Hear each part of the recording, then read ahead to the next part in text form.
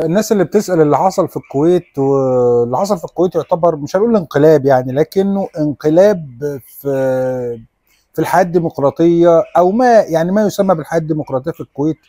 بما إن الكويت يعني كانت تعتبر من الدول العربية اللي يعني كان فيها ها بريال ديمقراطية وهو مجلس ال- الأمة الكويتي المنتخب آه، من الشعب في انتخابات تبدو حرة ونزيهة أو يغلب عليها الطابع النزاهة يعني.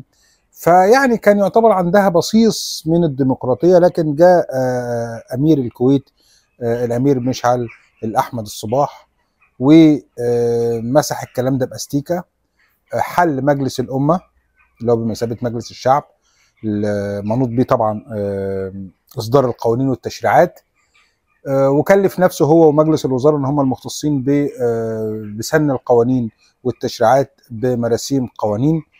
الأمر الثاني ألغى بعض مواد من الدستور تمكنه وتمكن برضه مجلس الوزراء إن هم يتحكموا في الحدوتة كلها. هو طبعا ما لغاش العمل بالدستور ككل ولكن هو بعض مواد الدستور. فعايز أقول لك إن هو للأسف يعني قضى بشكل آه، مباشر على يعني زي ما قلنا إيه بريال ديمقراطية اللي كانت موجودة في الكويت. ربنا يستر.